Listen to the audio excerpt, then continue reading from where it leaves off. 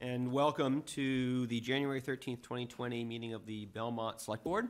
Um, Chair Tom Caputo, uh, joined this evening, as always, by Vice Chair Adam Dash Good evening. and Select Board Member Roy Epstein. Good evening. And Patrice Garvin, our Town Administrator. Good evening. So tonight, this evening, we have a number of different topics, but I will say this is a less packed agenda than we've had in recent, recent weeks. So we will, we will aspire to move through it relatively expeditiously. expeditiously. Uh, As always, we'll start out with a couple of community announcements. So uh, reminders about holiday recycling and trash uh, pickup. So there is a cardboard, remaining cardboard drop-off event scheduled for January 25th.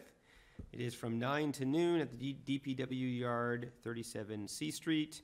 Uh, Please bring your Belmont ID. Uh, It's an opportunity for you to get rid of all of those cardboard boxes from the holidays are accumulating in your garage. Uh, and then we also have got Christmas tree pickup. This is the last week for Christmas tree pickup, uh, being picked up January the 6th to January the 17th. Uh, Christmas trees must be free of decorations. Trees cannot be in plastic bags or have their stands attached. Wreath and garlands that have wires must be put in town-approved overflow trash bags. Uh, for a quick list of quick list of what to put or not put in your recycling cart, lids must be closed. We don't want ribbons or bows, no plastic packaging, no plastic bags, no batteries, no Christmas lights, no clothes, no food, and no diapers. That's the update there. Uh, update from the town clerk. Uh, reminder to everyone to please return your town census as soon as possible uh, and ensure that you have your cats and dogs licensed by March the 15th. Those should have all gone out, uh, and you should have those in your mail over the last week or two. Uh, The Select Board, this group here, is seeking candidates for the Economic Development Committee and the Long-Term Capital Planning Committee. Uh, These are both committees that uh, we recently constituted uh, due to needs, uh, believe- we believe, within the town for some kind of longer-term planning and focus on economic development. Uh, Appointments will be made on February the 3rd at the Select Board meeting. We want to see applicants by what day? Does say? Whatever you choose. Whenever we choose, but. Friday but- but- before but the- cer- Certainly, we would ask that you get them in by the Friday before the 3rd so that we have a chance to review them. Twenty-eight. January 28th. January 28th. Excellent. And then finally, um, Mystic the Therapy Dog. So this is an interesting one. Uh, we all know how long the winter months can be. So to help us get through them, we are pleased to welcome Mystic. Mystic is a therapy dog, and he's looking for more volunteer opportunities with seniors. You can spend some quality time with Mystic for a quick smile and laugh. Uh, this is a free event that will be on Tuesday, January the 21st at 11 a.m. and Tuesday, a week later, January 28th at 1:15 p.m. It is at the the Beech Street Center. You can't see the picture, but the dog's really cute. Dog's pretty cute. Any other announcements? No? Okay, and do we have any um, questions or comments from uh, from residents? I will say the only thing we've been receiving a lot of is uh, questions about the recent tax um, assessment and rate. Um, We invited the assessors to come to this meeting. Unfortunately, they were unable to make it, so we've invited them to the February 3rd meeting. Okay, so questions about taxes could be brought up at that February 3rd meeting? Mostly questions about how assessments are determined. Uh, There was a big um, spike in values for this Mhm. year, so. So I I've saw it. personally heard quite a bit about, and I imagine my colleagues have as well. Did, did they confirm for the third? We're still waiting. to Okay. I think that'll be an opportunity for us to hear more from the assessors on that process and help to educate the public about uh, About why recent the tax numbers, bills. and why the numbers are what they are, yeah. Yes, agreed. Uh, All right, so with that, uh, let's take up our first or- matter of business, which is a proclamation to honor the 100th centennial anniversary of the Women's Club. Pretty exciting milestone. Uh, I think we're joined by some members of uh, the Women's Club, uh, including Wendy Murphy. Uh, Only Wendy will come up, but we don't bite, it's okay. Please, yeah. that would be great. Press the button. Press it right now.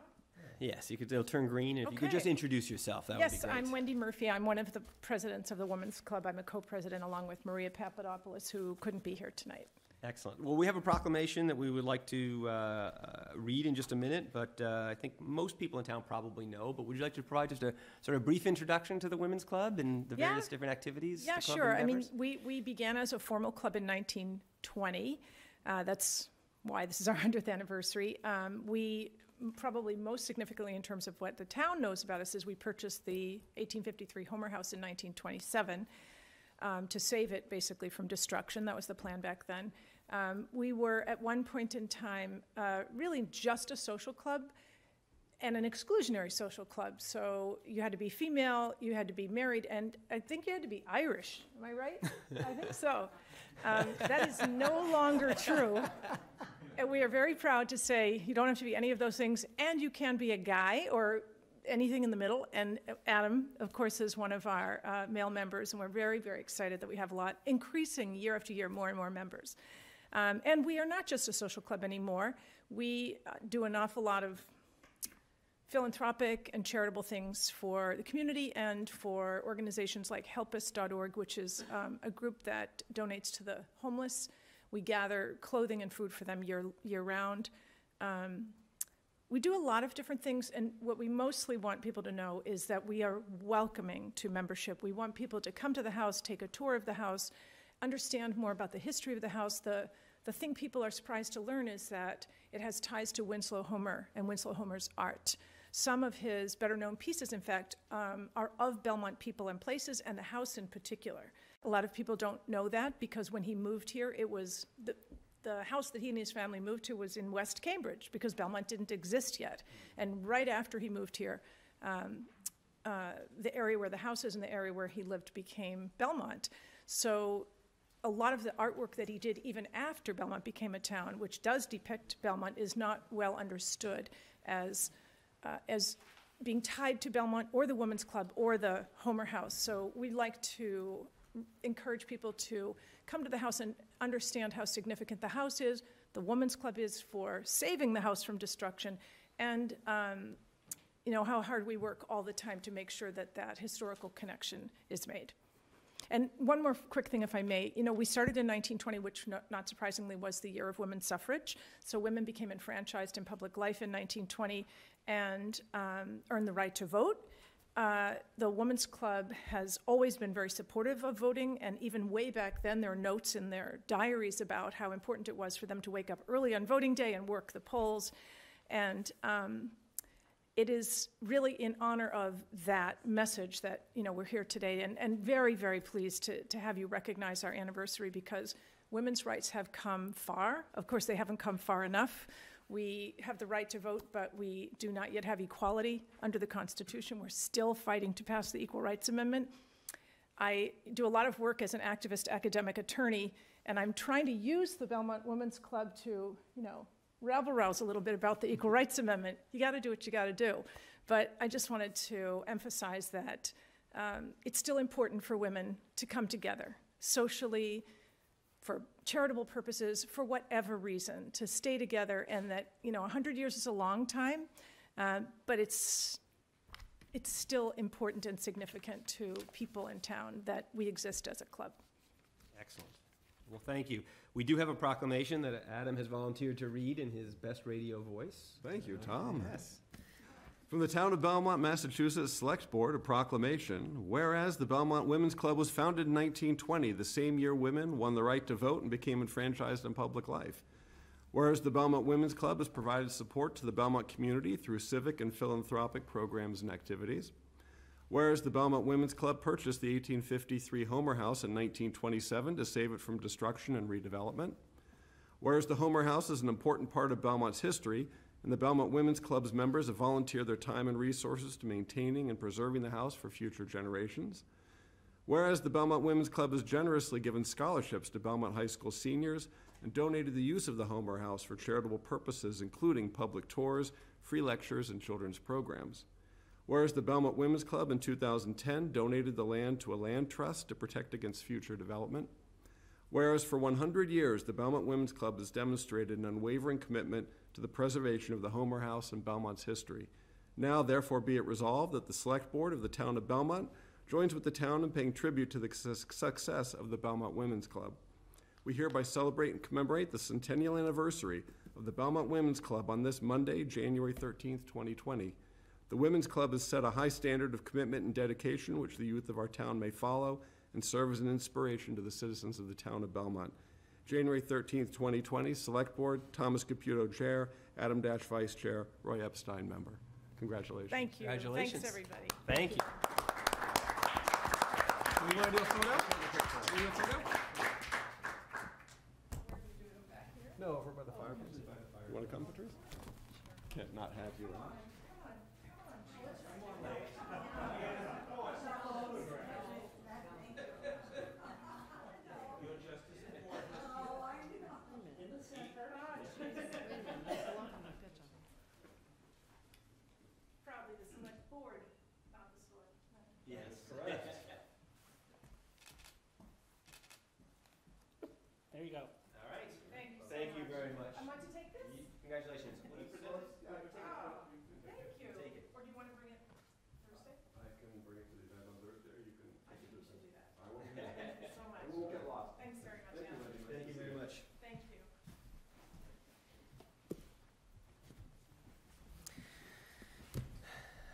100 years.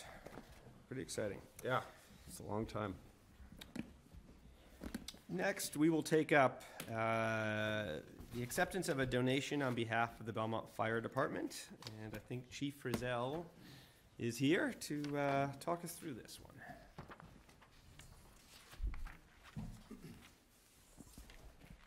As always, you know the drill. If you would introduce yourself. Hello, I'm Chief David Frizzell, your fire chief. Assistant Chief Wayne Haley. Okay, good evening. Um, So from time to time, we receive donations for the good work our firefighters do for the residents of the town, and we've recently received two donations. The first one was actually from the wife and family of firefighter Ronald Gaudette, uh, who was appointed in 1979 and retired in 2008, and he happened to pass uh, last uh, April.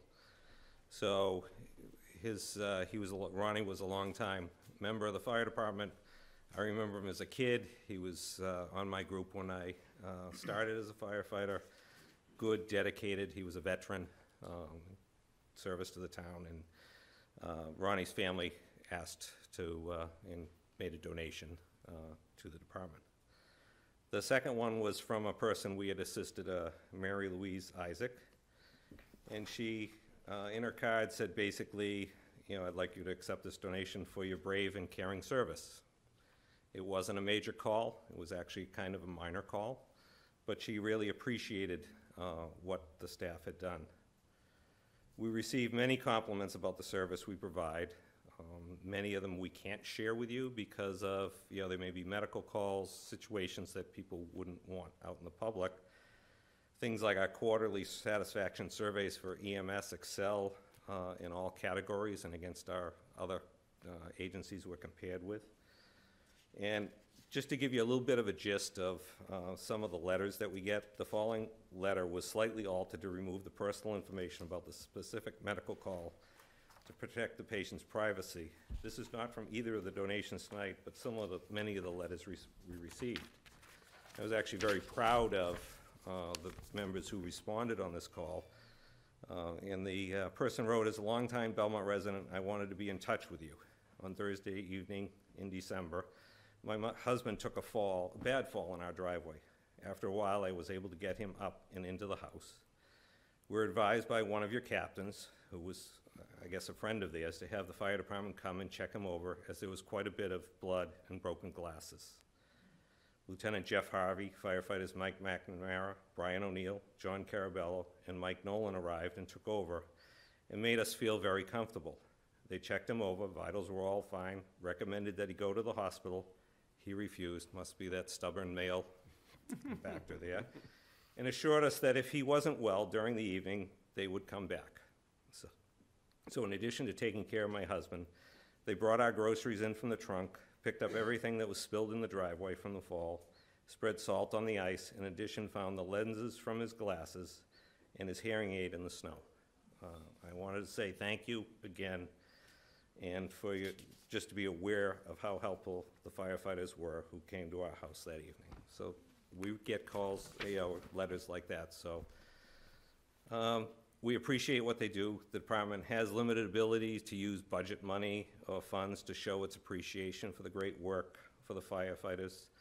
And we started this uh, annual employee appreciation event Um, This fund is, receives donations from, like tonight's, and uh, I contribute to, if we, uh, there's a little bit of a shortfall. We usually have an annual event where we invite all of the active and retired members, have something like a cookout. It's good for morale building, as well as to hear the stories of the retired members, because they always had, just like fishing, they had the bigger fires, they had, you know, all those things. So I would ask that the select board accept these donations for the purposes of the fire department's employee appreciation efforts. Thank you for those stories. I think when you're the one making the call, it's not a small call, but, uh, Yeah, no, we- and it, it is amazing when you're actually on the other side and you're calling for help. Those seconds seem like minutes and the minutes seem like hours. So, well, it's great that people recognize the, the Yep. great service you provide, so. Uh, And we thank you for everything you do, and we'll very happily accept these uh, donations on your behalf. I would move to accept the donations from Mrs. Diane Gaudet in the amount of two hundred dollars and from Mary Louise Isaac in the amount of one hundred dollars for the purpose of funding supplies for the Belmont Fire Department Employee Appreciation Event. Second. All in favor? Aye. Uh, Chief, uh, just to make the obvious explicit, how does one go about making a donation to the fire department? uh, i- it's, you know, the, most of them come through the, the US mail, uh, snail mail, um, just addressed to, uh, myself at the fire department, and, uh, usually with a card or a note that says that they would like to, uh, make this donation. If there's a specific reason or something, um, you know, we'll take that in consider- consideration also.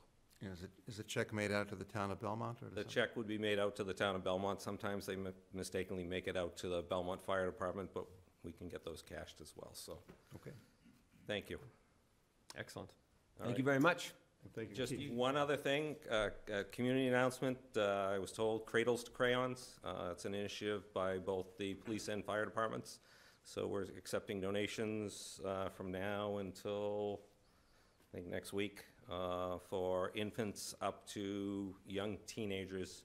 Um, And it's everything from coats and clothes and things like that. So either the uh, fire station on Trapelo Road or the temporary police station down at 40 Woodland Street, so. Excellent. All right, thank you very Thank you much. very much. Good to Good see night. you. Thank you, yeah. Good to see Good you. night, gentlemen.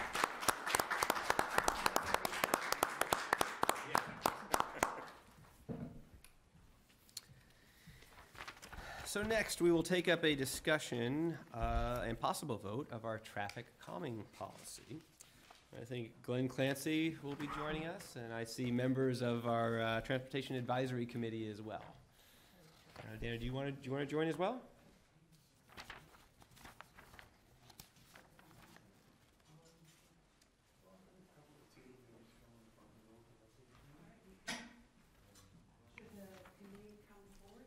Sure, if they would like to join, absolutely. I think this will be a, uh, good to have the broader context.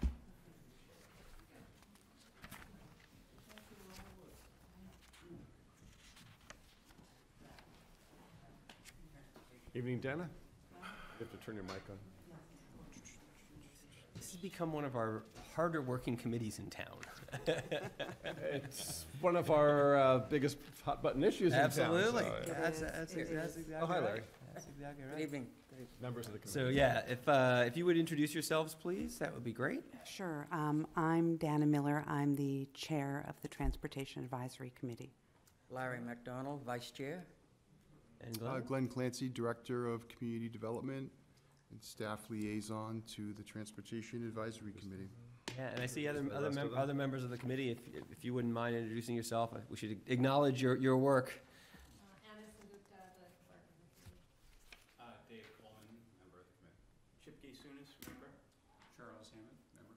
Excellent. And we, we, we very much thank you for your service. I also know that this was a, uh, a pretty significant endeavor that you guys have taken on, trying to put this traffic calming policy in place. So uh, I would love you to kind of walk us through it and uh, uh, give us an understanding of what you'd like us to, to do this evening. Okay? Um, So um, when this committee was formed um, a year ago, um, one of our, the first things we were asked to do is to develop a traffic calming policy for the town. And we've been working on it um, ever since. Um, We worked very closely with Glenn Clancy, um, who is the Director of Community Development and the Town Engineer. We worked very closely with Jay Marcotte, who is the Director of Public Works, and with uh, James MacIsaac, who is now our police chief, and with the police department um, in doing this. Um, we started by reviewing traffic calming policies from elsewhere to get our bearings, to learn what a traffic calming policy looked like. Um, and there are a lot of them out there on the internet. We were looking for ones that would be from communities most similar to ours so that the policies would be more likely a good fit for our town. Um, and so um, there was a policy in Dedham that we referred to a lot. Um, Lexington has something. Um, Brookline has something. You can look at all these for ideas. And then there are a bunch further afield, and Cambridge, of course, and big cities, um, and those tend to be different. Um, so we worked on this for a long time. We also um, had our um, one of our traffic consultants engaged occasionally with questions through Glenn. Um, and then, as part of the process, we held a public hearing um, on November 7th at the Beech Street Center. Um, and we tried to promote that to get as much public input as possible. Um, and we took comments and questions and concerns. We heard them all then. Um, we also um, received some direct correspondence. Glenn received emails through an open comment period. Um, and um, we also looked in the newspaper to see what people had written in the newspaper. And we took all of the comments and questions and concerns and um, brought these back to our discussion in the committee. Um, and we amended the policy to reflect a lot of these questions and concerns and updated them.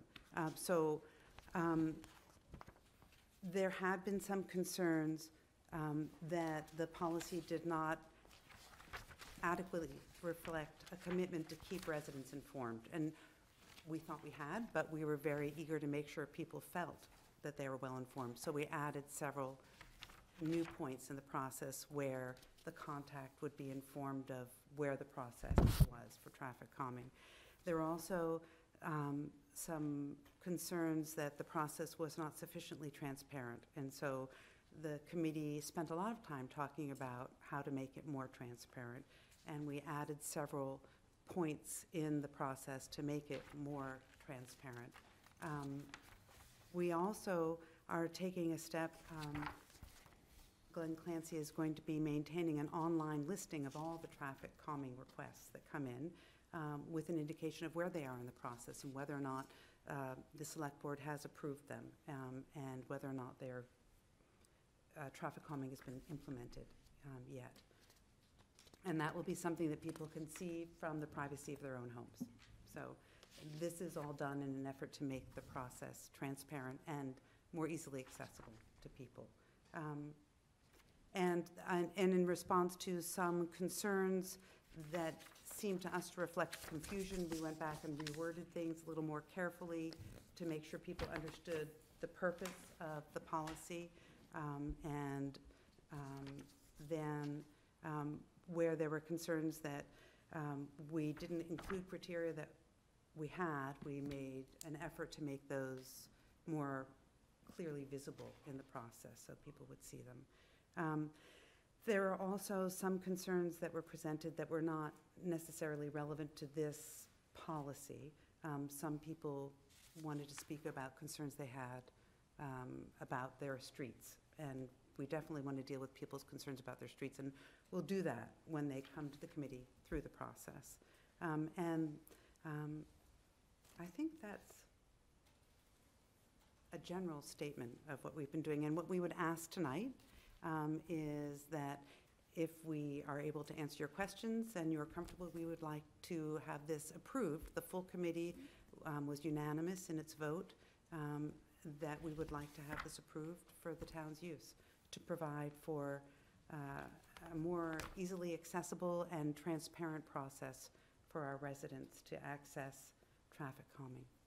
I would like to add that the members of the committee and a couple of others who are not here with us worked very hard.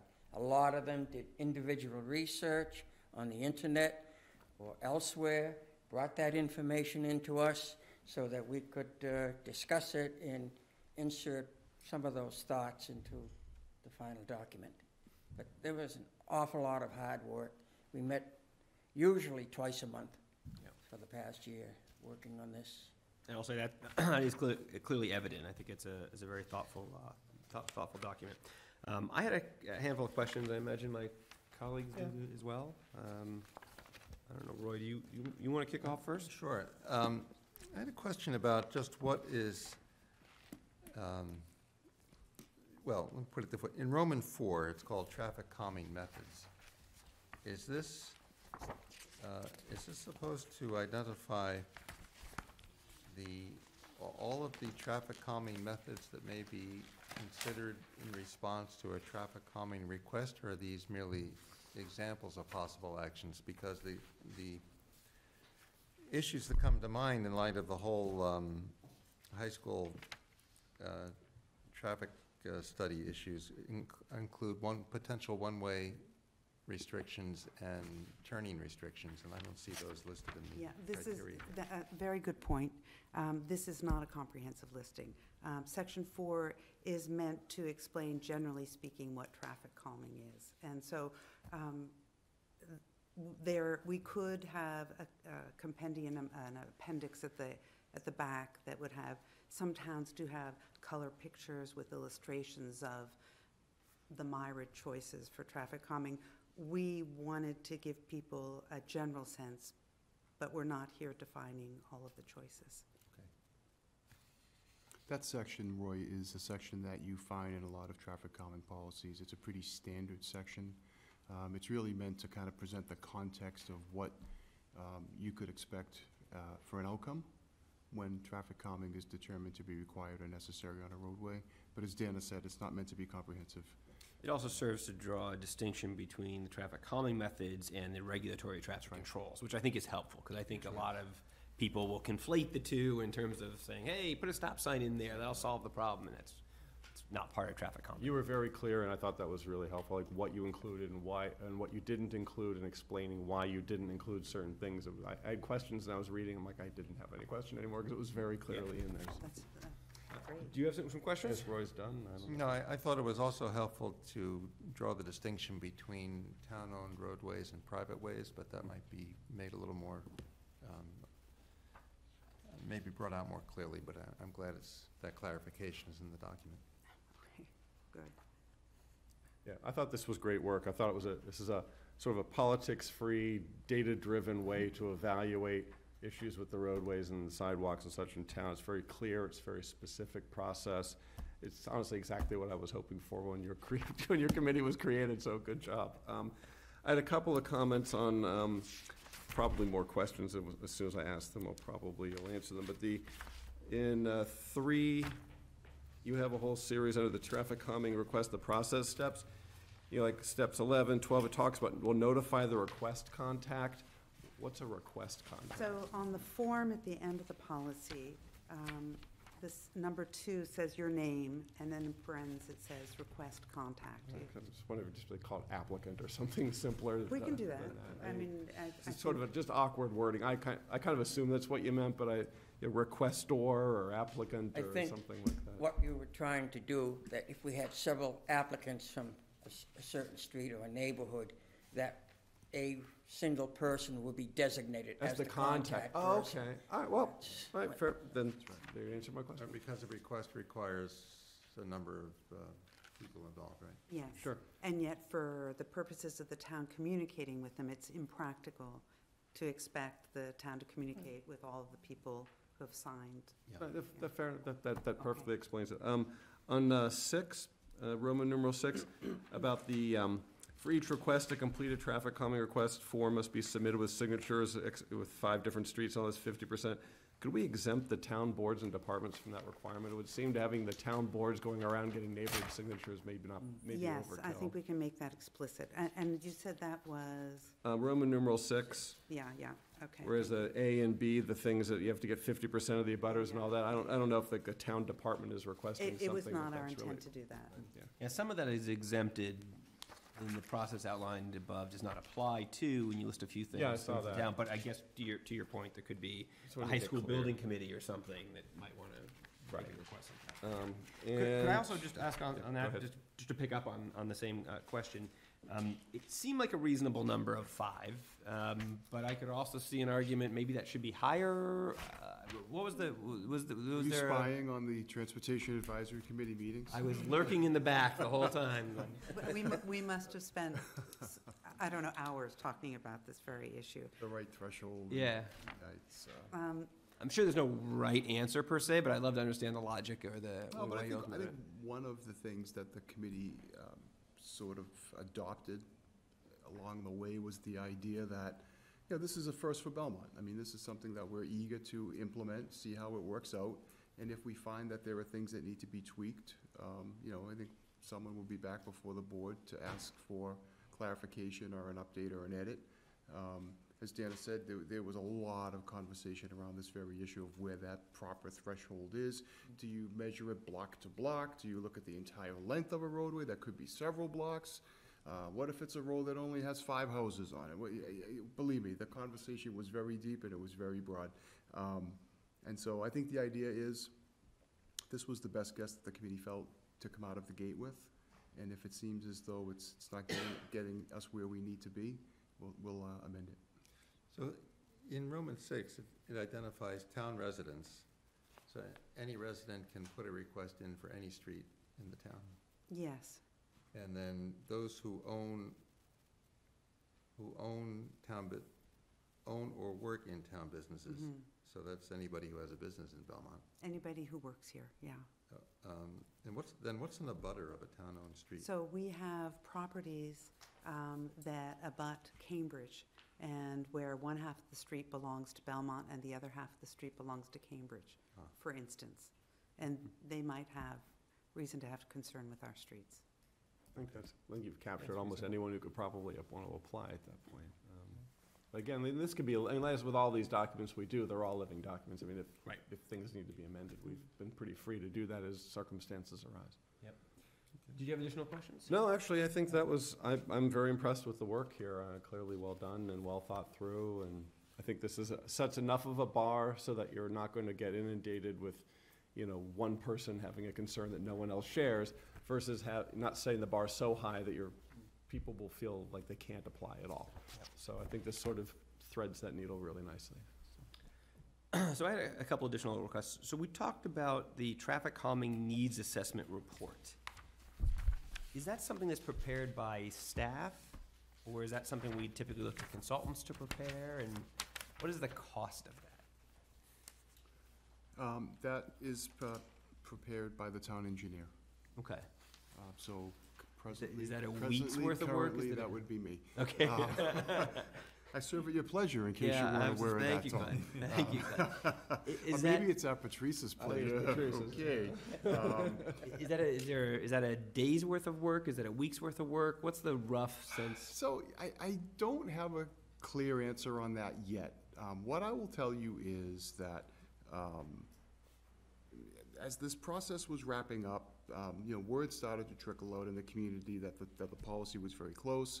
Um, we had a couple of, uh, neighborhoods in Belmont, uh, Rutledge Road, Village Hill Road come to mind, uh, where they have had issues with, uh, traffic concerns. And, uh, the committee and I felt that this is a great opportunity to begin to apply the policy to those neighborhoods. So we've already started to do it with the hope that the select board ultimately would adopt this and we would just continue running with the policy and applying it to those neighborhoods. Um, so we've done the initial steps, we've, the Belmont Police Department has done the traffic counts and the volume, the volume, and, uh, we've done the accident data, um, research and all of that good stuff. I haven't actually sat down, and both of the roads have met one of the three criteria that kicks you to the next level. Um, what I have not done is actually sit and do, uh, the assessment. Okay. Um, My guess is, you know, depending on how long it takes to pull together some of that data, I mean, to actually sit down and write it, I'm expecting it's probably no more than a couple of hours, maybe three hours of work. Um, I don't know what additional data I'm gonna need and who I'm gonna need to get it from. That may extend that timeline a little bit. But a lot of this for me, in my, in, in kind of my process and how I go about things, is I'm always thinking about ultimately what's gonna end up on the page. And so I may be pulling things together and, and thinking about certain things. When I sit down and actually write a report like that, a lot of it will have already been sorted out in my mind, and it's a matter of getting it down on paper, so. Um, I don't think it's going to be long, a long process. I don't think it's gonna be very time-consuming. Um, Of course, what I don't know is, because I haven't experienced yet, is how the committee receives the report. Right. Uh, They may look at it and say, Glenn, this is really great, go back and do it again, you know? Yep. I don't know, I don't know. Um, But I'm not expecting it to be um, too difficult. Good, so I, I, my only concern was that there was a substantial cost associated with these, but it sounds like there's a burden for sure, and a non-trivial one, but it's something that, at least depending upon the volume, potentially could be managed out of the office right now. That's right. Okay. I take it then when a recommendation, when, when a specific traffic calming recommendation is made, uh, that could come with a variety of provisions, like a sunset provision or some probationary period, or are they, is it always I- permanent, or how does Well, that I. I mean, I think it's, it's going to be case-sensitive. I think it's going to be based on the specific problem that we're trying to solve. Um, So far, what we're finding with the data that we've collected, we've, we've, Belmont Police has done, um, traffic counting on, I believe, five or six roads so far. What we're finding is, um, speeding is not the problem. It's, it's volume. Yeah. And it's cut-through volume. And so, you know, the, the remedy to that is usually some kind of, um, access restriction, probably during peak hour, whether it's morning or afternoon. The data bears out what the appropriate remedy is. Um, I would expect in a case like that, that, that sign, a sign package would go up and it would remain. Uh, and it would re- remain until such time as somebody who probably lives on that street determines that the signs are no longer required. Um, it's hard to believe that a, a Rutledge Road, for example, it's hard to believe that a Rutledge, Rutledge Road is ever going to experience less traffic than it's experiencing right now, just based on what we know about traffic and how it's impacting the region and the expected growth in the volume of traffic. Um, Where it gets a little bit um, dicey, and conversations that Dana and I have had with Patrice, um, are, are roads that have been determined to have speeding issues. Speeding issues are gonna require something beyond just a simple sign, obviously. There's gonna be some kind of a physical um, element that would be introduced to that roadway, whether it's raised tables, whether it's some kind of a curb extension or some kind of an element to uh, try to slow traffic down. There's obviously a cost associated with installing something like that. Um, There is sort of couched language in the policy that recognizes that the town just may not have it within a particular budget cycle to be able to fund some things. You'll be on a prioritized list, and when the funding becomes available, we'll, we'll address issues as, um, as we can.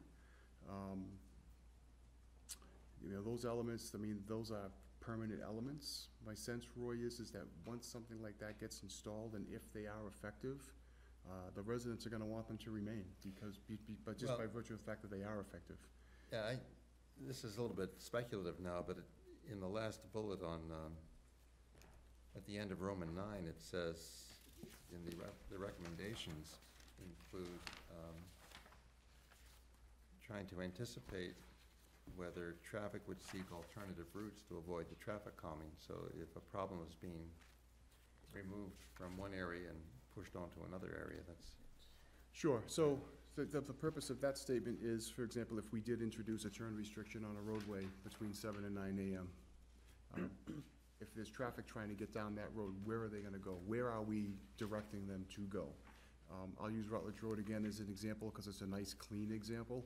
If you're coming out of Arlington in the morning, um, and you're on Park Avenue and you decide that you want to cut down Rutledge Road, um, if we take that move away from you, you've got no other alternative. You're going down to the Rotary at, at uh, Prospect Street, and you're continuing down Belmont Center. That's a very nice, very clean um, example of how to apply this stuff. Some of them may not be so neat. Some of them may actually have an alternative where you can't take this left, but the very next street may be an alternative, in which case, it's my responsibility to flag that for the committee, and the committee would ultimately decide how to remedy that. Maybe, maybe it means a ripple effect of restrictions if the, if the prob, um, if the problem is acute enough.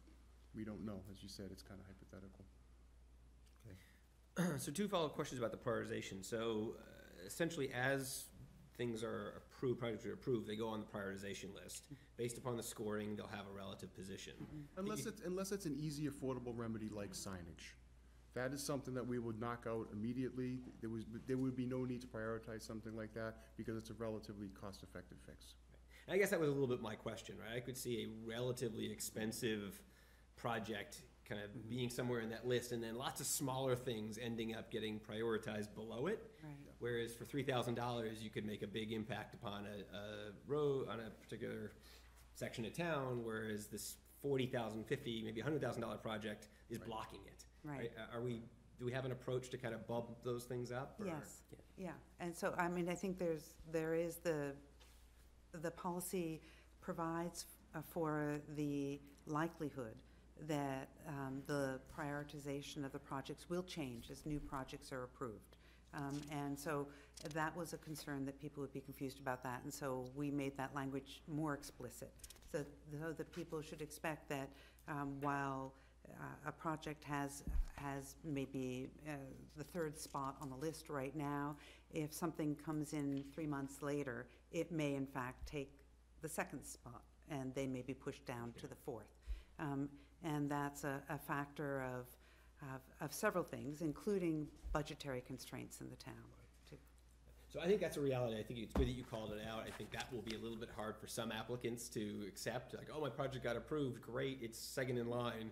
And then all of a sudden it keeps getting pushed down and pushed down and the things keep Yeah. bubbling up. So I think we'll have to figure out how that works. I guess my bigger concern was just about the language suggesting a prioritization, maybe of a very large project may block the implementation of projects further down the list, but are much more cost-effective and much easier. Right. Yeah. You understand what I'm getting at? I So do, if There's a absolutely. hundred thousand dollar project we can't fund right now, Yeah. and there's three smaller ones down below, maybe we should bump those three up, get them Right. done. So I, I, and I, and I think the wording gives us the latitude to do that. You know, one of the things that we recognize here is, um, you know, there may be a pavement management project that's in the queue that could address one of these traffic calming issues. Um, priority, prioritiz, prioritization-wise, maybe that project is, say, fourth on a list, but because it happens to fall on a road that we're reconstructing, we would certainly grab that project at number four and knock it out when we rebuild the road. So that's, I, I mean, I think a common sense makes a, makes, uh, makes sense. I think the challenge may be, you know, the people who then are in project position three are like, well, wait a minute, why'd you do four? So I think we'll just have to see how this evolves, but I think that may be where it gets a little bit thorny. Mm-hmm. But I think applying, uh, some common sense is, is appropriate. And a related question, You have to get the who owns microphone. the priority Yeah, list? If you wouldn't mind, could you either s- speak, speak to the microphone here or? Or go to the one Go in to the the one in the back? Uh, Yep, my name's Chip Gaysunis, I'm a member of the TAC. Um, The question's been raised about the priority list of projects, and so uh, my related question is, um, you know, who kind of owns that? Because the goal of the, the process is for TAC to make recommendations to the select board on which projects we think uh, rise to the level that they should be addressed by the town. Um, They go on this priority list of projects, understanding that the town may still not have the resources to address all the projects that we'd like to make a priority. Um, And so, I guess my question specifically is, who owns that priority list of projects? Is it the town engineer? Is it the select board? Because at that point, TAC has made its recommendation to the select board, and it's really not our list of projects anymore, I don't believe. Right, and to some degree, we then have to approve those projects, so I would say, you know, my thought on it is, it's probably ours, and it's probably ultimately the town engineers to maintain. Um, maybe to that end, maybe we're the group also that can elevate something outside of its priority for, for execution, if it, if it makes sense, to take things out of priority. And to the, ex- to the extent that budgetary considerations, for instance, are, are a factor, that would be something that the town select board would need to address. I, I agree that ultimately I, probably has to be a select board decision, but I expect we would rely heavily on the advice of a town engineer. Mm-hmm. And on TAC, as we have in the past with prior recommendations. Well, and what I think is also great here is there is some objective scoring that uh, gives it a relative position. So it's not necessarily about us saying, well, that one looks a little bit better than that one. Right. It's, there is a process and. It's gonna has be been part of apples to that. apples comparison, uh, it's all, yeah. it's all good stuff. No, Yeah, this and- is, I think it's really good. As, as uh, stated in the policy, there could potentially be capital budget implications as well. Mhm. So there would Yeah. be conversations with myself and the town administrator Um, If we thought that there was a project that we should try to chase funding through capital budget, um, you know, that would ultimately bring it to town meeting for their approval too. Great. And then my final question was just, if it turns out a project is more about regulatory traffic controls than traffic calming, where do those go? If it's deemed to be more about regulatory traffic control, do you So, that up? uh, uh, regulatory matters are brought to my attention to the traffic division of the police department all the time. Um, I would go through analysis on those requests are the manual and uniform traffic control devices, which is the federal document that the Commonwealth has adopted. Um, If, if it makes sense that there's something regulatory that can be done, we would pursue it. Four-way stop intersections, for example, um, I have brought a fair share of four-way stop approaches before the board over the years, um, based on evaluations that I have done using the guidance in that manual. Um, Other times, um, depending on the magnitude or perhaps the data that I felt was necessary, I might hire an outside consultant to do the data gathering and write a report. Um, and, and I think the process here would be the same. If, if it's regulatory in nature and it's something that we can address in-house as the town engineer, I would approach it that way. If I felt I needed, uh, you know, support or I needed, um, a different set of eyes, you know, it's probably something that I would refer to a traffic consultant to look at. And will that go through TAC? Um, yeah, more than likely, more than likely it would go through TAC. Um, you know, if for no other reason, you know, one of the things I like about TAC is it's a venue. It's a venue, f- um, to be able to coordinate public input. And so, um, it's very likely that something regulatory is, we're gonna wanna solicit resident feedback. The Transportation Advisory Committee process and that venue is the perfect place to do that. Um, and then obviously, you you know, if, if you can get consensus, there's a recommendation made to the board. So now, now that regulatory change that you're looking to make has the force of a committee's recommendation behind it, ultimately, you know, a select board approval. Makes sense. Well, I want to open it up for public comment, if anybody would like to speak to this. I don't see any. Uh, With that, then, I guess I will look to my colleagues to see whether or not we have a motion. Yeah, I would, I would move to adopt the, the traffic calming policy as presented to us by the Transportation Advisory Committee with the one proviso that I want to clarify in number six, that the town boards and town departments are exempt from the gathering signature provision. Uh, Second? All in favor? Aye. So thank you very much. We appreciate all the hard work, and I think this is a great step forward to- towards traffic calming in Belmont. Yeah, we have a traffic calming policy for the first time in town history. Thank you so much for your work on this. Thank you this. very much. Thank you all. We'll find something else for you to do. It's a big win. Okay, I think we've now got back-to-back 5K race requests. Uh, The first on the agenda, Oh, was that? We skipped the skip update. the uh, Grand Lodge? No, the update on the service impact. What is it? We, Oh. we updated the Oh, agenda. I'm sorry, you updated the agenda, yeah. Oh, It's not in the, you- it's not in the book, so I'm sorry, you gave, is there an updated agenda? Yeah. Thanks very much. So, we will then have update on service impact from the potential McLean development. I think this provides some continuity with Glenn, so you can get out of here, right? That's great. Okay, so this is, um, some of this I touched upon in my town administrative report, but Yep. given some of the recent developments, I thought we should pull it out and have it as an agenda item. So as, um, you're aware, the planning board is going to be taking up the McLean property, um, on, at their January twenty-first, uh, meeting to discuss with the developer the plans for that, um, that area, zone three Mm-hmm. as it's commonly known. So, one of the things we're hearing in the community is impact of services and what that potential impact would be. There's been in the past, obviously before my time, um, some developments in town. Acorn Park, is that right? Or is it Royal Belmont or is it Uplands? It's Same thing. Acorn Park slash Belmont Upland slash Belmont Royale or Royal Royal Belmont. So there's Pick that your poison. development, there's Cushing Square that will be coming online next year. So we're hearing a lot of concerns from people that impact on services is a big, um, a big thing and it needs to be kind of fleshed out before this goes potentially to town meeting, Mhm. if it ends up at town meeting. Mhm. So we had a conversation, Glenn and I, and Jeffrey Wheeler with Jack Dolly and a demographer on Friday. His name is Jerry McGibbons. It, he is the same demographer that did the school study that, Who, for the record, has nailed it for the last five years and actually does exceptionally good work. yes, terms of he did the predicting. two thousand sixteen That's good study to for the. Yeah. school to, um, discuss, you know, growth in the school district and things like that. So he already has a lot of the data, um, and we would like to engage him, write a scope of services to potentially do some work for us to kind of help us with what the potential impact of this development could be. I think we need to know that, town meeting needs to know that. I mean, obviously, that, that's a big, you know, people, they can make the decision whether, you know, if you're adding affordable units and it brings more children in, maybe that's okay to get more affordability, or maybe it's not. I, I, it's a value judgment at some point, but without the data, there's no way of knowing. How much are we talking? Uh, between six to seven thousand. All right. Which How much, how much time does he need to do a report?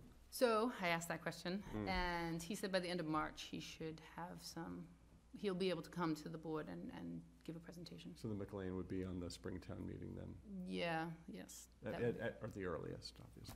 Did I miss anything in regards to that call? Um, no. Because there was talk about maybe a March special town meeting, but if they're Yes. not gonna get done with that, then you're I don't think we'll be able to get this type of information out before March Yeah, date. no, I don't see how this is And Jack was on the phone and when he heard that date, so I'm assuming he realizes that Well, it could be a crunch.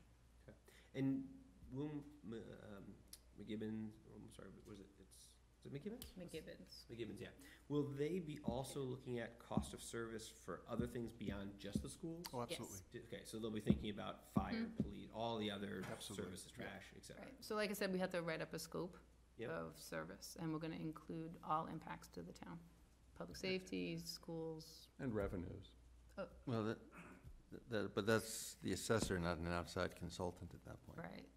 Well, Right. we- But we would need that information. Yeah, we, we Yeah. could get that. Um, what's the other thing? Oh, the other thing is, I know, um, there's been a lot of discussion in the community. Um, we've been hesitant to put anything out there publicly only because we don't have the information, so we're trying to gather the information. We're trying to get to the twenty-first planning board meeting, we wanna know what those issues are. Um, we feel that a lot of issues will come to the, to the table that night, and we'll be able to kind of address them going forward. That's the planning board's, uh, role, Yeah. so. So I, again, the, the McGibbons individual, that group, um, did, I know, a lot of the predictions that the schools have used around enrollment, and as I alluded to before, has actually done a very, very good job. I know them historically as sort of education demographers. Uh, Are they comfortable with this cost Yeah. of service and factoring in other things? Is it something Yeah, I, he knew what we were trying to get to, Okay. what, I mean, he has most of the data for the town Yeah. Yeah, to it- start off, so. Yeah, it was, it was, uh, it was a pretty instructive Yeah, we learned a conversation. that lot. we- It was a conference call. Patrice and I and Jeffrey, as she said, um, as Patrice said, we were on our end of it. And, uh, his ability to quickly reach information and, and convey it, I mean, he's clearly very well versed with Belmont and the, and the demographics in the town. Yeah. Um, and so, yeah, we all, I think we all felt really good when we hung up the phone. We really felt like we had found the person that we needed um, to get that information, because we're sensitive to the, to the fact that the community, you know, obviously wants this fully vetted. They want, they want to make sure that we have these questions answered. Um, and- and I think we felt really good that we had found the person that was gonna get that piece of the puzzle for us. Yeah, and he's, he seemed to think the end of March was, um, doable for him, so that works with our, That was with a Spring. little cajoling by your town administrator right away. but, She's good at that, yeah. But I think this sounds like a, something I would support. Do you need a vote? I, I, you know, I, no. Well, I mean, it sounds like it's within your So purview. have we decided, are we using your budget or mine to pay for it? I don't think we have decided. Um, we can Decide that offline, I You can split it, yeah.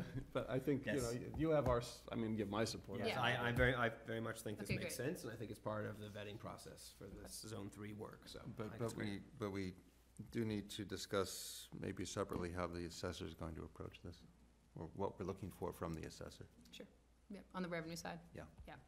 yeah. There's also the building permit side. as Yeah, but the town meeting, sh- we have all this information, and then the town meeting will have to make Yep. a decision. Yeah. so Yep. that's- Excellent. That was it? Excellent. Thank you Thanks, very Glenn. much. Thank you, All Glenn. right, thank you all. Enjoy the rest of your evening. Enjoy the game. All right, so we're on to our two 5Ks. So the first is uh, from the Grand Lodge of Massachusetts Sons and Daughters of America, and I think we're looking to do a 5K on April the 19th. I imagine someone- we have some representative. Excellent, thank you. Hi, I'm Kathy Young. I'm the state auditor for the Order of Sons of Italy of America, Massachusetts Grand Lodge, also co-chair of this race. so uh, we're trying to rebrand ourselves. You know, 20 years ago we had 20,000 members. We're down to about seven. So we're like, how do we let everybody know what we do as as Italians? And some of our charities are autism, Alzheimer's, Cooley's anemia, uh, scholarships. Um, but how do we let people know who we are and what we do? And so we want to outreach to other people to let us know and maybe increase our membership. Uh, we were at our council meeting, and one of our younger, newer uh, council members said, Why are we looking at other places? Why are we not in Belmont?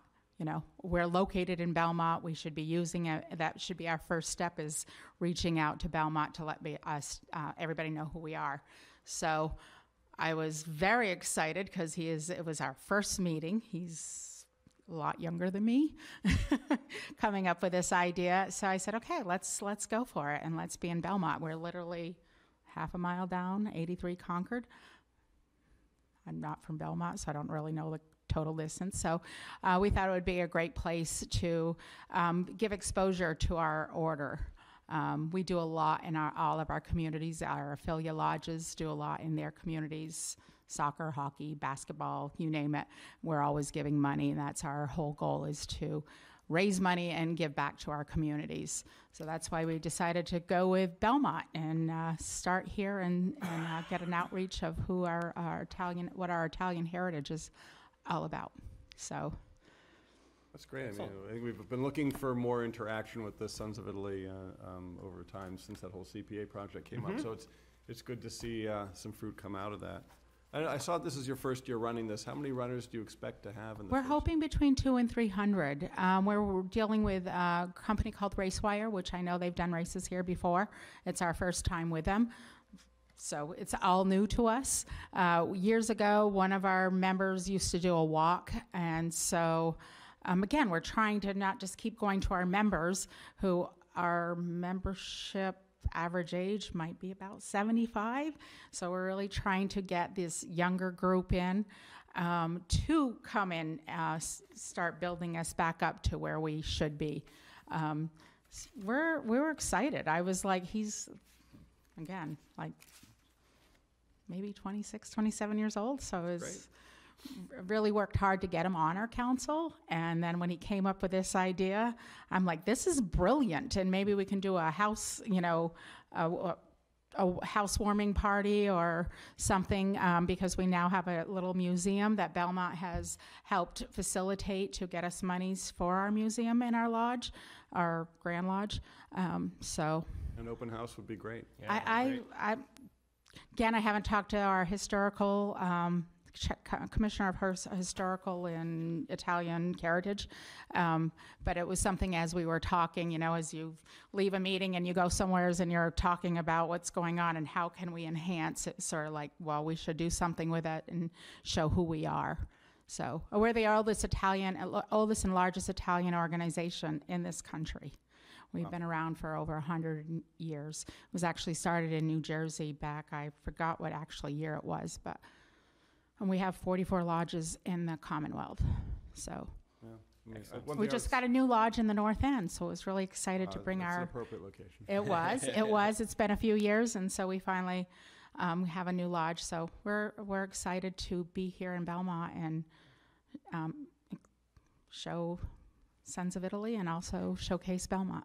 Yeah. One thing I would note for this and for the next one is to do uh, a call, electronic call to the abutters to let them know that the race is happening. We've done that in the past because I know I've had trouble. I, I'm, I got to be somewhere and I go to get my car out of the driveway and then there's runners going down my street Yeah. because I didn't know that was a race day and if I'd known, I would have moved my car. So I think it's important to tell people. Absolutely, You know, absolutely. I mean, it's not necessarily your responsibility, but I mean, for, because we can target that. No, but I for think all- we should be part, you know, part of letting our Yeah, neighbors you know should, as You know, well. and and it's good publicity for you, so. um, Absolutely. A Question for Patrice. Um, In events of this nature, when there's a police detail, who pays for the police details? We do. Yeah, the applicant does. Okay. So it looks like there, there is a request for the organizers to follow up with the police to work out the specifics of the detail. Have the- Yes. Have the police approved the route, or? Yeah, the police approved the initial application, but as the, as it gets closer, they'll work with them a little bit more. I, p- I plan on um, reaching out to them this week because we have our board meeting on Friday, and I want to make sure that I have everything for our council to be able to approve or to give final approval. Yeah, okay. Excellent. All right, well, welcome. Thank you. We're Um, excited. I would move to approve the request from the Grand Lodge of Massachusetts Sons and Daughters to host a 5K race in Belmont on Sunday, April 19th, 2020 at 10 a.m. The organizers requested to contact Sergeant Kim Hurley of the Belmont Police Department on or before April 5th, 2020, to make arrangements for police details. Second. All in favor? Aye. Aye. Thank you so very Thank you much. very much. I Good hope to luck. see you that day, and we're always open to new members. Excellent. Thank you. Thank you. Okay, our, our next 5K, Becca is back. Please, uh, feel, feel free if you want to join us up here, you're more than welcome to. Your annual visit? Exactly. You That's hit the exciting. button Is- there? Year five. That's great. Yeah. Great. So once again, if- if you would introduce yourself, that would be great, and uh, tell us a little bit about the plans for this year. Sure, so I'm Becca Pizzi and fifth annual Becca Pizzi 5K race director. Um, last year, we brought in $30,000 for, entirely for the Belmont High School. And, um, great, like the race director of the Boston Marathon came and, uh, Will Brownsberger, and it was just a great turnout. Um, I'm feeling, we're a month ahead of schedule this year, so I feel like it's, we'll, we'll expect about 500 about. Uh, I start, like, stopping advertising at 500. Um, I think it's a good number. Yep. But it's been really successful, great way for me to give back to the community. Um, and April 26th, I've reached out to Kim Hurley, and um, she'll handle the police detail. We pay for that out of our race. Yeah. Well, this is easy because we've done this for Yeah, multiple years, kinda and you, cons- you run a good race, and there's really Thanks. nothing more to say. Thanks, it's I- i- Is it the same route this year? Same route, Same so routes. it won't be um, affected by the construction. Yep. Yeah, so I see that Bill Avallo and the Bri- uh, weighed in from the committee, so that's good to know. So is it just 5K or is it also? 5K and a kid's one mile, so up to one mile. They can do one lap or, but 150 kids ran last year, so that was 50 more than we were expecting, but we're expect 200 this year, so. So Excellent. bring your kids. Yeah, bring your kids, families. All right, looks good. Um, I would move to approve the request from Rebecca Pizzi to host the Becca Pizzi 5K road race and the One Mile Kids Run on Sunday, April 26th, 2020. The organizers requested to contact Sergeant Kim Hurley of the Belmont Police Department on or before April 12th, 2020, to make arrangements for police detail. Second. All in favor? Aye. Aye. Aye. Thank you. Thank you again. Thanks. Good luck. Thank you for doing the race. Yeah, Of Jim. course, I love it. It's great. Bye. All right, we have our annual, next up is our annual designation of our animal control officer. I still don't quite know why we need to do this every year, It's a state requirement. but so be it. How's it going with the animal control officer? Oh, she's great. She's, she's great. She's out there. She's doing a great job. Wow. Very visible. Sounds which good. what we like. Yeah, well, s- It all looks to be in order. it looked like it was in order to be, so I, Yep. I'd move to approve Suzanne for Savage as the designated animal control officer for the town of Belmont for the calendar year of 2020. Is she- Is she full-time? Yes. Uh, Second. All in favor? Aye. Couple liquor, left handful of liquor licenses now. So uh, the first is for the Belmont Gallery of Art for a one-day liquor license for uh, purpose of hosting an art reception. Nobody? We have three. Nobody? Okay. Um, well, then I would move to approve the request from the Belmont Gallery of Art for a one-day liquor license, wine and malt only, for the purpose of hosting an art reception on Friday, January twenty-fourth, twenty twenty, from five PM till eight PM at the Belmont Gallery of Art. Second. All in favor? Aye. Excellent.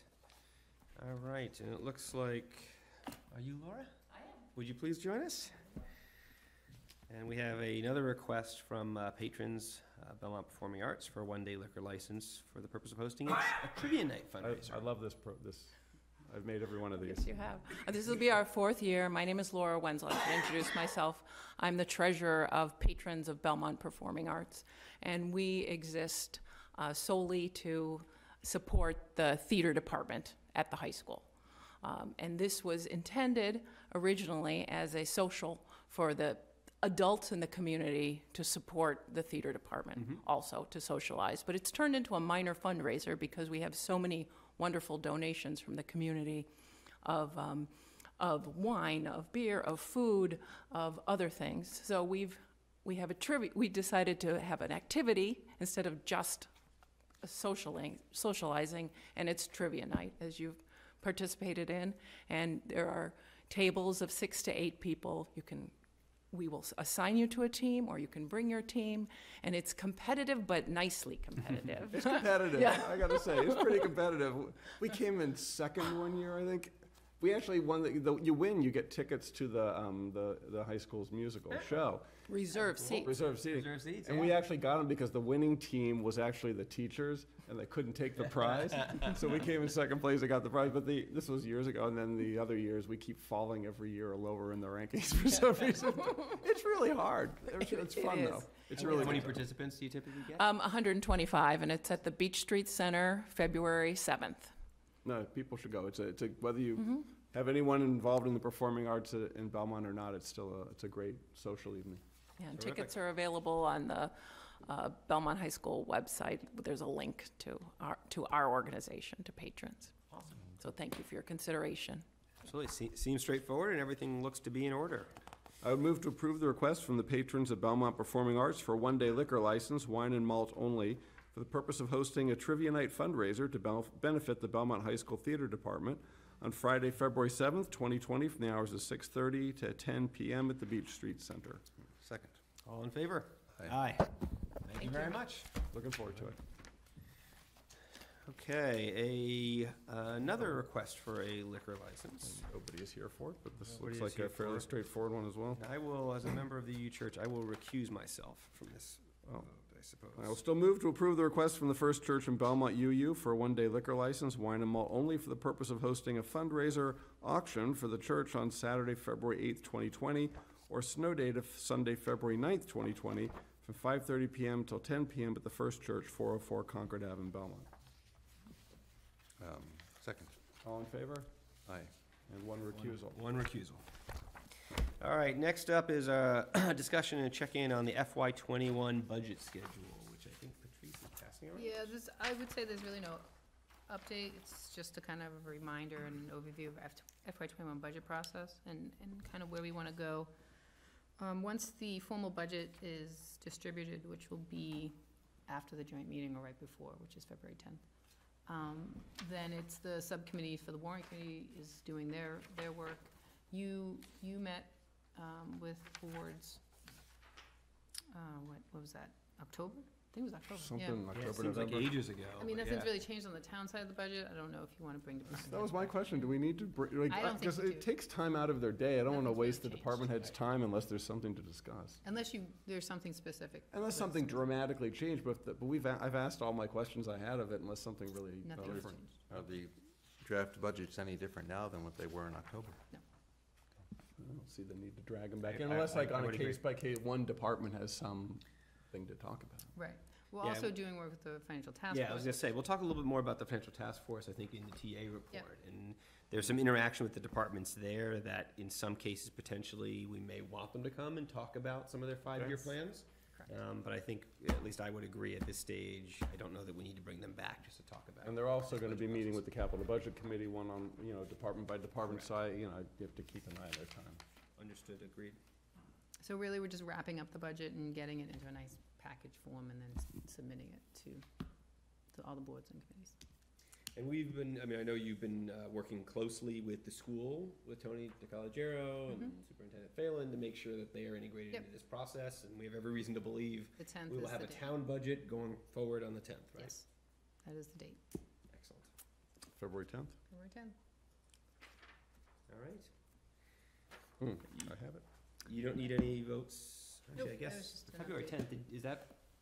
I have did it in my you- calendar. Did you send that invite out? Yeah, I thought Pam did. Now that we're thinking, now that I have it, so someone did. So someone, someone got it. February tenth. Correct. Are we doing that here?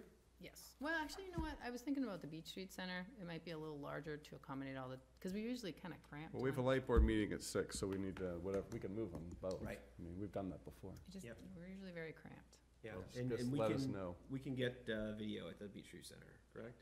Yes, It should be, okay.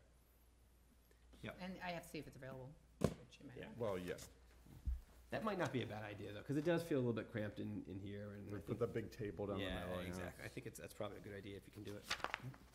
All right, let's keep moving. Um, Committee appointments to the Age Friendly Advisory Council. We are ahead of schedule, by the way. Mr. Chair. Goodness, that is good work.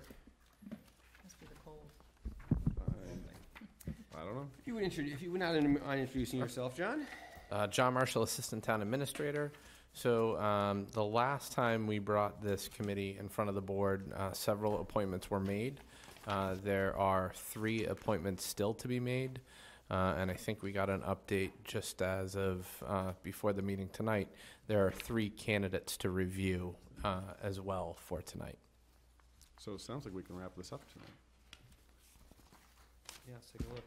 So you, you, you gave us an additional, uh, There's a third, there's a third that's- applicant. think Correct, that's- so the- This is the one that was Yeah, in, that you just that's- handed us a minute ago? Yep. Okay, great. Pam passed. So the three candidates are uh, Timothy Flood, Beverly Freeman, and the latest applicant, uh, Ellen Tell. Eileen. Uh, Sorry, Eileen Tell. Tell. Eileen Tell. Excellent. And we're looking to appoint three, correct? Correct. I think this is fairly straightforward. Yeah, they all seem to be I mean, not, qualified and engaged. yeah, Nava recommended the two that had come in in advance, but since uh, Eileen's hadn't come in in time, Nava hadn't weighed in, but, I mean, Eileen's clearly But qualified. If Eileen you read- definitely looks like. If you read her background, she's a senior expert, so. Yeah. No, The only question I had is, uh, in the charge for appointments, it says four residents with one specializing in ADA compliance. Is- Is that a, um, is that a requirement or a It's a good- preference? I think good it's a question. preference. I think when you spoke about it, it was more of a preferred. Because I, I don't see that any of the three candidates are really specialists in Well, ADA. Nava said Tim Flood was, I don't know what, where that comes from, but I- that's what he it's said. not- It's not, well, if ADA compliance, not sure exactly what that i- entails, but I- I Yeah, don't it's not really a certification per se, right? So I think it's, Knowledge. Someone with disability, hard to say. well, it says Tim Flood has a background with disability services. I mean, I, well, I, I don't know where it comes from, but if it's just a preference, I think we could give it a try. and well, I guess the, the main issue is, uh, one reason to form this council is, is so they could have a report by March fourteenth, so that we could qualify potentially for some grants. And I Correct. guess the main thing is to be sure that the composition of the committee is, of the council is one that will allow us to qualify for the grants. And If that's the case with these three, then I think we're good. I, I, I believe you're fine. I think the ADA was a, I thought that was from your discussions of who you wanted on the committee. Well, if Nava, if Nava was comfortable with it, I'm, I mean, she's in the field, I'm comfortable with it. But it's a point well taken, I got it. Okay. We, we have three openings and three applicants, I don't know what else to say. Well, well, especially, uh, well, if it turns out if the ADA compliance is our own criterion, then we can waive it. if we need to. And it's a fuzzy criteria. Yeah. And this is a more of an ad hoc committee, which will probably end. It's a one, it's a one-year term, so I don't, one-off. Yep. yeah, I'm, I'm Okay, I- comfortable I with guess it. the only thing then, since, since March fourteenth is coming up quickly, is this, has this council met yet? It sounds like they have a quorum technically at this point. I, we'd have to ask Nava, I'm not sure. Okay, But uh, are they I clear on think you what? appointed them last time so they could start to meet. Yeah, Okay. well, let's load them up and see what they do. Just so they're, are they, are they clear on what the action plan needs to do? Nava is, yes. Well, I would move to appoint uh, Bev Freeman, Tim Flood, and Eileen Tell to the Age-Friendly Belmont Advisory Committee Second. All in favor? Aye. for the one-year term. Excellent. Despite- Yeah, they're all, they're all one-year terms. I'm just so making, think just to be that's- clear. I think that's clear. All right, Patrice, we have our TA report. Yes, thank you. So the planning board is holding its first public meeting on the McLean property development presented to the board in November. I've attached the plan and the schematics. On Tuesday, January twenty-first at seven PM, I will be in attendance at this meeting to determine what the best course of action is moving forward. The board will need to review the proposed zoning as well as deliberate any service impact to the town. So that'll be ongoing Mhm. once the planning board does its work. Now that the RFP for the ice skating rink has been voted and released, there needs to be a discussion on the process of review for respondents. Attached is a list of people that were part of the internal working group that helped draft the RFP. I'm looking for feedback from the board as to who should be represented on the reviewing committee Again, want to thank Glenn Clancy, John Marshall, and Jeffrey Wheeler for all their hard work on the RFP. I- Oh, there it is. I will note, this was a particularly good group. It was kind of an informal group that came together, but uh, it was a, a a pretty, I'd say a pretty effective group. It hits all the notes. I Yep. mean, I, I don't have any reason to think of anyone else. Okay. Um, I was gonna share this with, um, the superintendent and, and see if the school committee agrees, and then we have consensus, and then once we get the responses in, we can get this group together and start reviewing. All these people are willing to do it. Mhm. Yeah, we should check back and make sure everyone's willing to do it. Yep. And I do think we should uh, be a little bit more clear about what the timeline, and timeline's there, but specifically what's involved in each step in the timeline, and when we want to get materials to people, and what we're asking them to do, Yep. because right now, it's kind of a forty thousand foot uh, Yes. level, as opposed to the specifics of how we get this done. But Okay. it's great. Uh, the financial task force is meeting to determine the operating override scheduled for the fall of twenty twenty. The committee is requesting an agenda item be placed on the select board and school committee agendas going forward, uh, so that the residents can be informed of the override process. There has been a lot of feedback from residents on their recent tax bills and how their properties are being assessed in town. We have invited the Board of Assessors to your February third meeting to discuss how values are determined. I'm also going to work with the town assessor to generate a Q&A sheet that explains to residents how values are determined and taxes are assessed in town. I think that's important. Yeah, and we're, and we're trying to figure out ways to get that sheet out there, right? I mean, we certainly want to publish it on the, the website, but there was a discussion as to whether or not it goes in the next tax bill, you know, do we somehow leverage Belmont Lights distribution? Uh, I think there was, uh, at least within the most recent financial task force, uh, group, a sort of growing awareness that the most recent round of tax bills really did kind of shake the bushes a little bit. And people are expressing concerns about valuations, tax increases. It's the first tranche of borrowing uh, from the debt exclusion that's now hitting their bills, and there seems to be a kind of a, a, a growing awareness of the tax burden. So trying to get out there with education as much as we can in the next couple of months as a foundation for what will ultimately be very likely an override conversation in November. Can, can we post on Nextdoor? There's, there's so much discussion of this issue on I'm sure I Nextdoor. can find a millennial that I- works there. Well, we should actually, we should talk, we should talk about that at some point. Maybe one of the agenda items we can pick up in the next meeting is how we think about social media and how we think about engaging in social media. Mm-hmm. Yep. I- There have been many a Facebook conversation that I have witnessed where, you know, you're thirty comments into the thread, and if someone authoritatively had just posted after the first comment with a link to the answer, it would have taken the whole thread down to, you know, zero. So. So you don't want us tweeting a bunch of all caps misspelled things out Yeah. there? I think we should figure out how to do it. I mean, every one of us is a member of the community and is welcome to post, but I Yeah, think yeah, there's yeah. some value in us figuring out, how do we want to approach this? Do we specifically look to someone in the town administrator's office to be, you know, the person to do this? Because I think Yeah, I Nextdoor, Facebook, they Yeah, all have these path of least situations. resistance if the discussions are taking place on Yeah. forums like Nextdoor, Yeah. then if we could post there, it would be the most direct path. It can be very frustrating to look at the comments when you know that there's, some of them are just wrong. Yes. um, But, Exactly. you. So Patricia, I don't know if you, would you mind, could we put that on an upcoming Sure. agenda and kind of talk through how we want to? Maybe get a recommendation, maybe. Sure. just to- Yeah. Yeah. Yeah, we ha- I, I've got some ideas. I'm happy to chat with you, Patrice, and we can figure out how to put a recommendation forward to the Sure. group.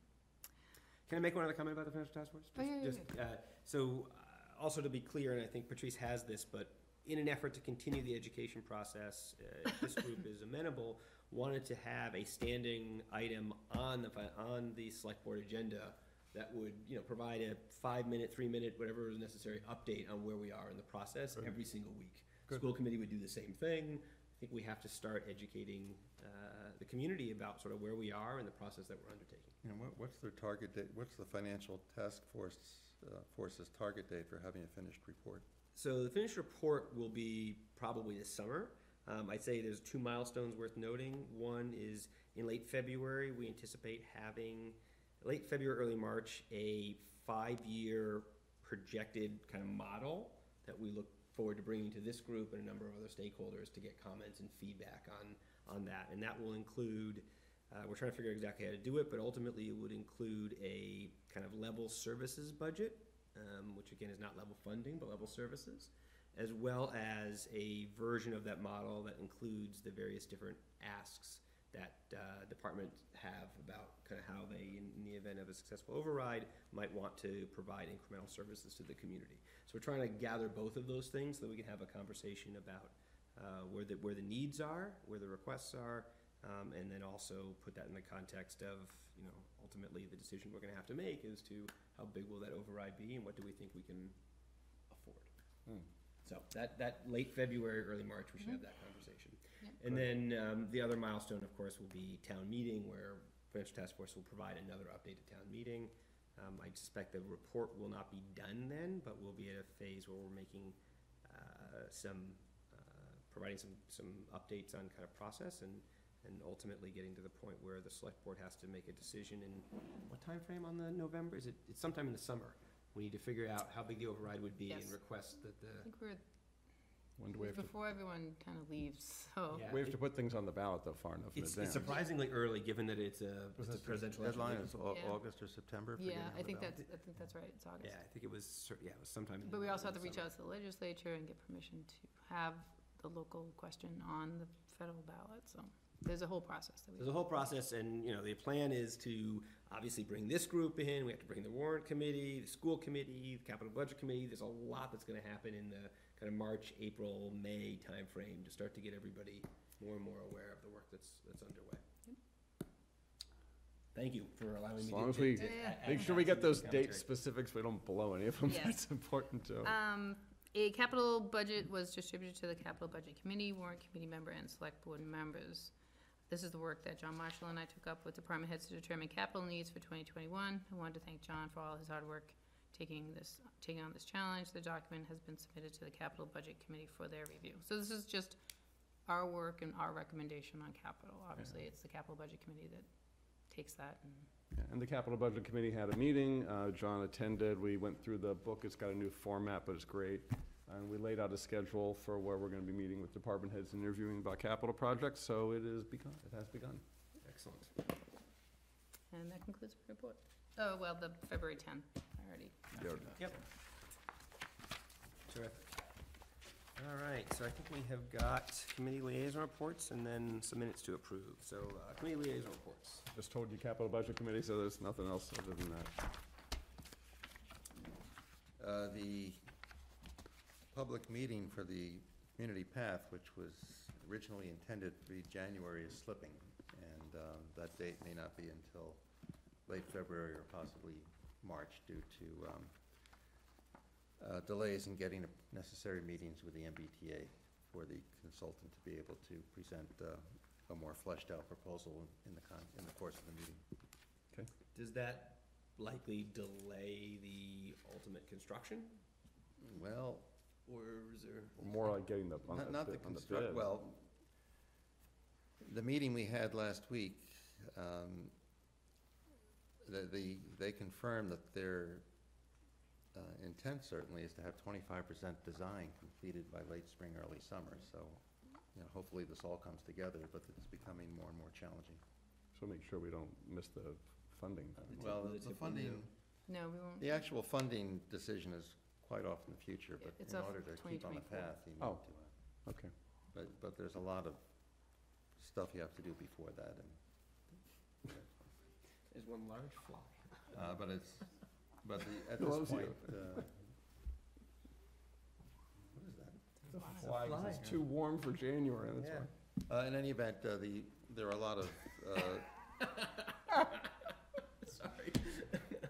um, the, the MBTA is, is the key actor at this point, and, uh, we can't really proceed until the MBTA gives us some guidance. If I kill this on camera, is that okay? Yes. I- I'm not gonna say yes to that. Movie, you kill it. All right. You got minutes. All right. All right, sorry about that. Uh, All right, so one, uh, one other I have update. nothing to um, do with Yeah. Hi- hi- High school, uh, middle and high school building committee um, continues to kind of meet regularly. Uh, There's a great deal of construction underway right now. and It's, uh, it's pretty remarkable. Can't Um, hear gen- it from here. Generally speaking, we, uh, the project is on uh, pace, on uh, the pace that they want to be on, which is good. Uh, Early February will be an important milestone. We're now at a point where everything has been put out to bid, or nearly everything. And we will be looking at bids that will come back in early February. And at that point, we'll have a sense as to whether or not we are in fact gonna be able to hit the budget. Um, So that will be a pretty significant, uh, uh, pretty significant meeting in, uh, in early February. But right now, you know, what you want at this stage is a lot of, uh, groups interested in bidding. And, um, you know, the team's done a very, very good job of getting out there and, again, sort of shaking the bushes and, uh, and bringing people to the table that intend to submit, uh, bids. So I think everyone's at this stage pretty optimistic. Oh, and I- I should add regarding the uh, DPW, that uh, the original schedule was for that work to be finished in early December, but the um, contractor suffered the most unbelievable series of really grievous family tragedies that uh, slowed them down, and it's a miracle if they have come through that. But our owner's project manager, Daedalus, provided just an invaluable service in um, overseeing the project when the general manager, the general contractor himself was unable to really work for family reasons. And uh, the goal now is to have substantial completion later this month. And, uh, Excellent. it's on Great. bu- And it's slightly behind schedule, but it's on budget, so it'll be very good when it's all done. Super. Excellent. And the police station is, Uh, Steady as she grows, uh, but, you know, that, that's gonna be an eighteen-month project. But it's, it's all proceeding smoothly. Good. other updates? All right, let's keep moving. I guess we've got two minutes to approve. Both looked fine to me. I didn't see anything either. Like, Quick Uh, review. I'll move approval of the October 31st, 2019 regular meeting minutes and the December 18th, 2019 regular meeting minutes. Second. All in favor? Aye. Aye. All right, and a motion to adjourn. Uh, Move to adjourn. Second. All in favor? Aye. Aye. All right, eight thirty. Or five.